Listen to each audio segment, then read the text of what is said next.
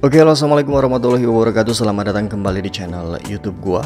Dan di video kali ini gue bakal coba untuk mengkomparasikan atau membandingkan kembali dua soundcard eksternal dari brand Mas Lady dengan tipe SK300 dan SK500. Sebenarnya soundcard ini tuh tidak dijual di pasaran Indonesia, melainkan dijual di marketplace luar negeri seperti AliExpress, Banggood, dan lain-lain. Dan gue harap ada supplier yang mampu untuk menyuplai soundcard ini ke Indonesia agar bisa dijual di pasaran Indonesia. Dan gue yakin pasti laku. Kalau harganya murah ya, kalau harganya mahal ya mungkin agak sedikit susah. Jadi buat para supplier-supplier nih yang dari Cina itu yang sering impor ya cepatlah untuk menyuplai soundcard ini ya.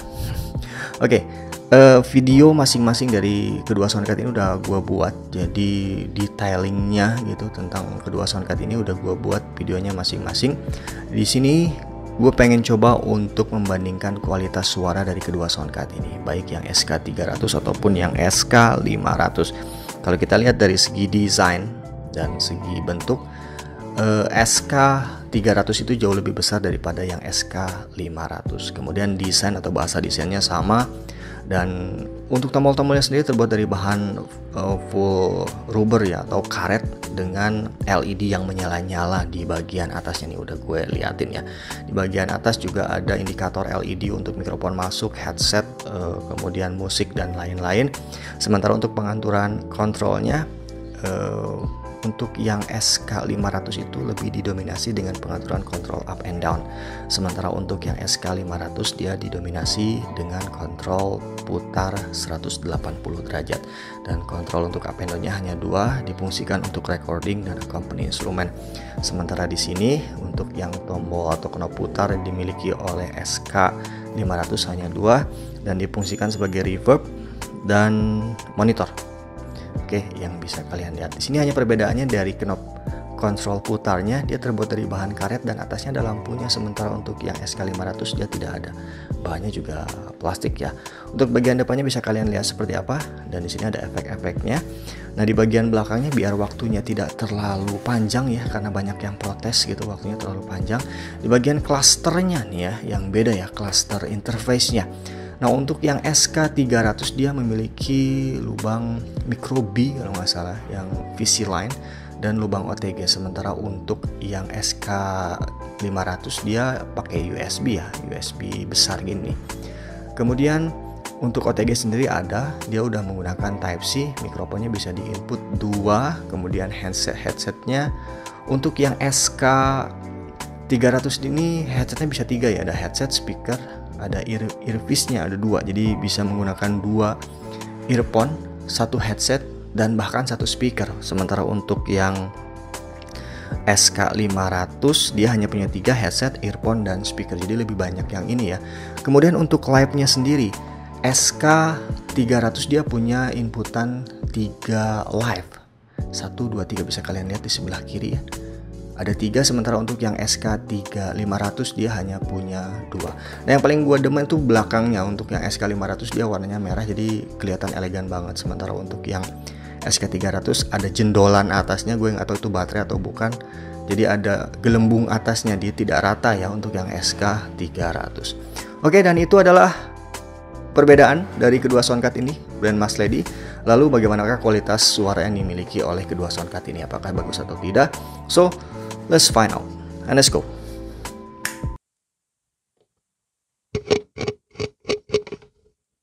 Oke, okay, tes 1, 2, 3. Oke, okay, kali ini gue udah coba untuk menghubungkan soundcard eksternal Mas Lady SK300 ini ke smartphone yang gue punya dengan menggunakan mikrofon SF920. Jadi gue agak bosan dengan menggunakan S mikrofon BM800 dan ini adalah kualitas suaranya dengan volume mikrofon hanya setengah. Ini volume mikrofonnya ya. Bisa kalian lihat di sini. Kemudian gue coba untuk besarkan saja volume mikrofonnya dan ini adalah kualitasnya. Kalau menurut gue sih ini cukup lumayan tebal banget di headphone dan kalian bisa mendengarkan video ini dengan menggunakan headset agar kedengarannya noise-nya seperti apa. Tapi jujur di sini noise-nya benar-benar nggak kerasa banget. Kita coba untuk membesarkan mic height-nya atau ini bisa dikatakan treble Oke, dan ini adalah kualitasnya jadi lebih garing dan noise-nya juga lumayan agak kerasa kalau gue berbicara ya. Ini mic high-nya, kemudian di sini ada mic low-nya. Oke, dan ini uh kenceng banget. Sumpah di headset kedengarannya tebel banget, enak banget, garingnya ada, tebelnya ada gitu ya. Ini ada mic middle. Kita coba untuk besarkan saja semuanya ya. Oke, dan ini adalah kualitasnya ketika mic middle-nya diangkat dan mic low, mic high-nya diangkat. Volume mic-nya pasti full. Kualitas suaranya seperti ini. Tapi gue agak kurang suka kalau mic middle-nya diangkat ya. Jadi sebenarnya tergantung kalian sih kalian pengen pengeteran seperti apa atau ininya mic high-nya dikecilin, mic low-nya dibesarin agar suaranya lebih tebal atau seperti apa. Ini ada voice charger. Tes 1 2 3. Apakah ngaruh atau tidak? Oh, tidak berpengaruh ya. Mungkin ini adalah efek yang ada di tombol-tombol. Kita coba untuk kecilin, kemudian di sini ada dodge. Dan ini dodge-nya di sini tuh bukan yang ditekan, melainkan yang diputar. Jadi dodge-nya bisa diatur sesuai dengan keinginan kalian. Kalau misalkan suara musiknya pengen agak besar atau agak kecil bisa diatur di sini. Uh, di sini ada efek reverb. Gue nggak tahu nih reverb atau apa. Kayaknya sih efek echo kayak gitu. Oh iya.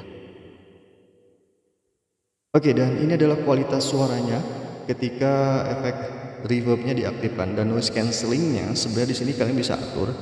Ada sekitar 5 noise cancelling yang bisa kalian gunakan.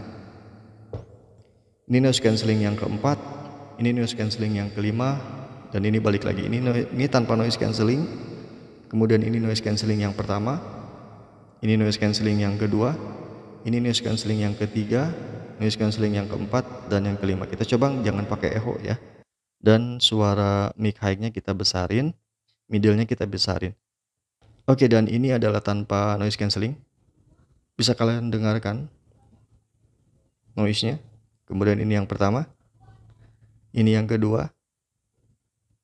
Ini yang ketiga, mulai menghilang noise cancelling noise-nya. Ini yang keempat. Dan ini yang kelima.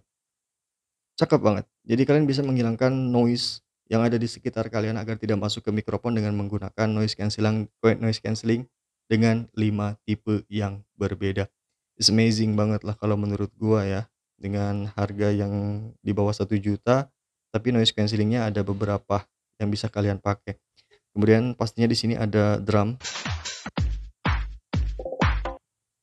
Uh, drum ini kalian bisa gunakan drum ini, dodge-nya diaktifkan. Tes.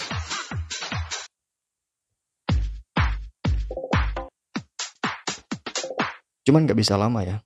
Oke, dan ini ada efek MC. Kalau misalkan kalian nggak mau pakai efek manual yang ada di knob control, kalian bisa menggunakan efek yang otomatis ada di sini.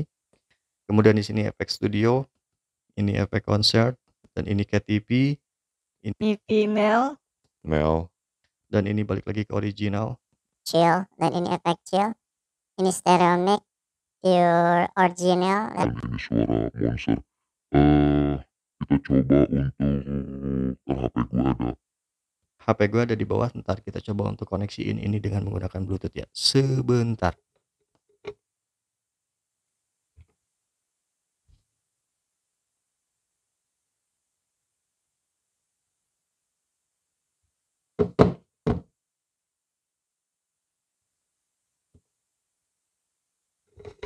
Oke, Bluetooth-nya udah gue aktifin, tapi gue nggak tahu ini apakah langsung terkoneksi atau tidak. Kita coba untuk mematiin. Ini nyalain ya. Berarti udah nyala ya. Apakah tersedia atau tidak di sini untuk Bluetooth-nya? Ada ya? SBK 300. Oh, ya benar. Dipasang dan akhirnya bisa terhubung kita masuk ke file. Di file ini udah udah lima menit nih. Nanti protes nih yang lainnya. Tapi nggak apa-apa lah nanti kita potong-potong saja videonya ya. Oke kita setel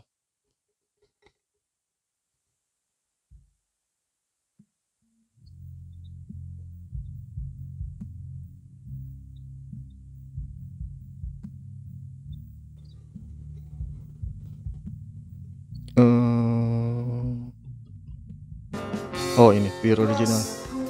Oke, okay, dan itu udah aktif. Dodge-nya kita coba aktifin atau bersungki atau tidak dodge-nya. Nah, dodge-nya ini bisa diatur oleh kalian ya. Kalau gini jadi mati banget backsoundnya. Kalau gini masih tetap ada di belakang. Jadi besar lagi ya. Oke. Cakep. Untuk kualitas suara bisa kalian bandingkan. Di sini ada noise cancellingnya yang cukup lumayan jernih saat digunakan. Kita langsung aja beralih ke soundcard eksternal SK500 dengan kualitas suara yang bakalan kita coba. So let's finally let's go.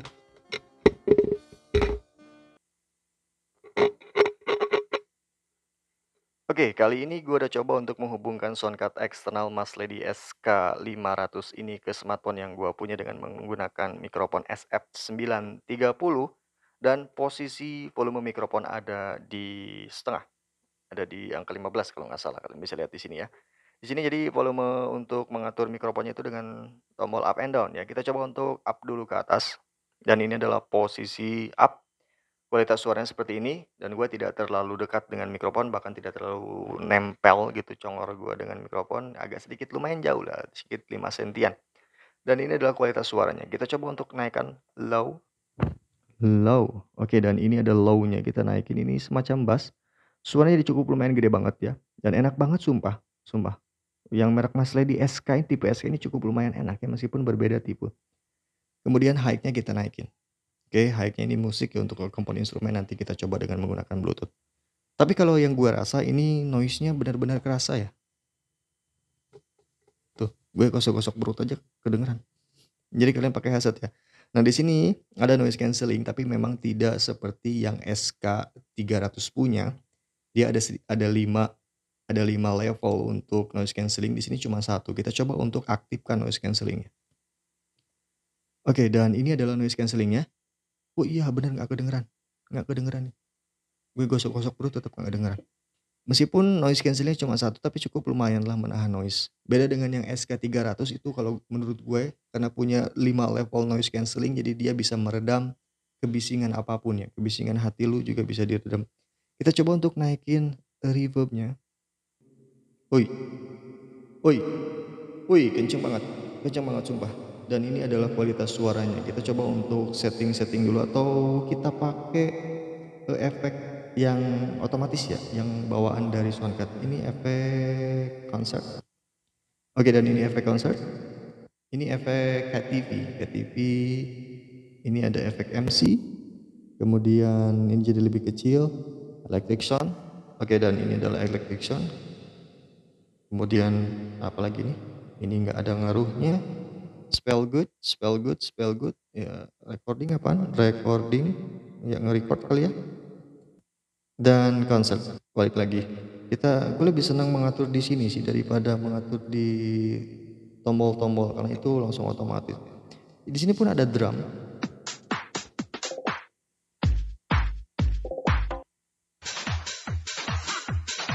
Cuma saya kalau misalkan ini cuma sebentar ya, nanti mungkin bisa diputar-putar. Di sini ada Mel. Ada girl. Chill. Kemudian di sini ada pemutar untuk lagu ya. Dan uh, langsung terhubung.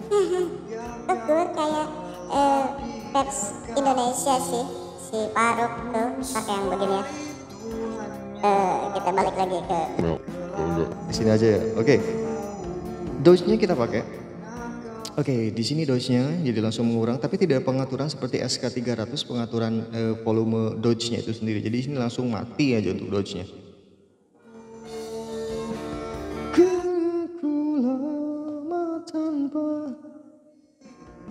Oke, dan buat kalian yang lagi rindu sama mantan, jangan lupa eh, cuci tangan dulu ya. Soalnya nanti takutnya agak sedikit kotor gitu tangannya gitu. Ini langsung dan kalian bisa langsung mematikan di sini untuk suaranya. Sama seperti yang SK 300 punya.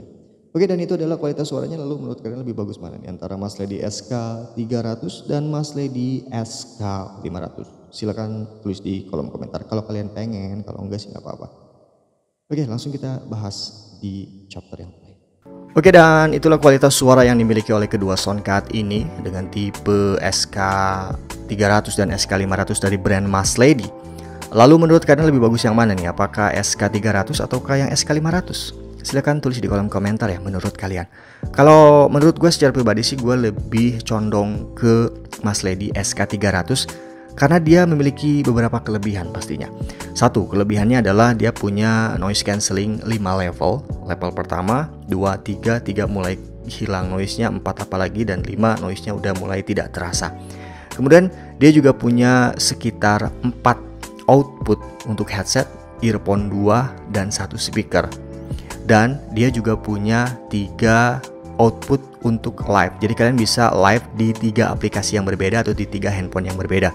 Sementara untuk yang SK500 ya sama seperti kebanyakan soundcard pada umumnya. Dia punya dua inputan untuk mikrofon, kemudian eh, tiga untuk inputan output dan dua untuk inputan live. Jadi ya eh, dari segi dari segi fasilitas sih lebih unggul yang SK300 menurut gua. Tapi sayangnya kalian harus beli soundcard ini di marketplace luar negeri seperti AliExpress ataupun di Banggood. Dan gue berharap ada supplier yang nonton video ini lalu menyuplai soundcard ini ke Indonesia dan bisa dijual di Indonesia dengan ongkir yang murah, kemudian dengan uh, kecepatan pengirimannya. Jadi kan kalau dari dari luar negeri biasanya sekitar satu bulan, tapi kalau misalkan dijual di Indonesia ya misalkan tiga hari atau satu minggu lah paling lama. Jadi gue harap ada yang datang. Pasti banyak yang beli. Kalau murah harganya, kalau mahal ya tetap susah. Oke, dan sekian review dari gue, bukan review sih. Sekian compare dari gue tentang kedua soundcard ini dan soundcard ini bakalan gue jual nanti jadi bakal lenyap di studio gue kalau kalian pengen, kalian bisa cek link di deskripsi. Nanti gue iniin ya setelah gue upload. Kalau sekarang misalkan lihat belum ada, berarti gue belum upload. Oke, sekian kompet dari gue. Semoga ini bermanfaat buat kalian. Jika kalian suka dengan video ini, silahkan di like. Jika kalian tidak suka, sih di dislike saja. Mau subscribe silahkan, enggak juga nggak apa-apa. Gue Coki Rasyandara. Wassalamualaikum warahmatullahi